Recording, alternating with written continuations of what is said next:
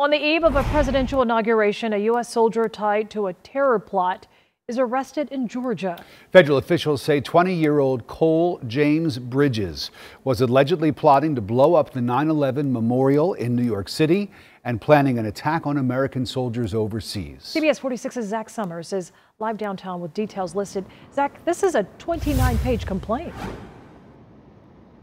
Yeah, a lot to unpack there. Cole Bridges, you know, he joined the Army back in 2019, and in that complaint, we learned that he said that he had once had connections to ISIS before joining the Army and essentially enlisted uh, to get the government off his back.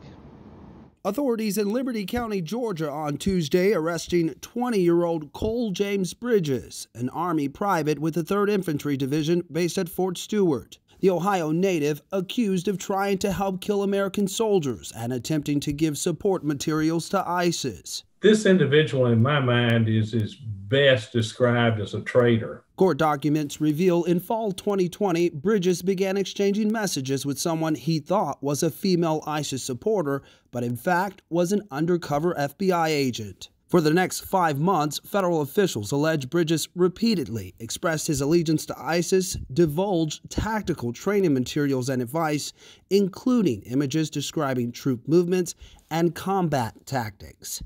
They also say Bridges provided guidance on potential targets in New York City, such as the 9 11 memorial. He was quite frankly, hell bent on, on destroying our country. Bridges is said to have told the undercover agent that if he were ever to be compromised, he would, quote, become a martyr or somehow escape the country. So I think it'd be interesting to have someone sit down with him and debrief him to find out what his makeup was and what uh, caused him to do what we saw in this complaint.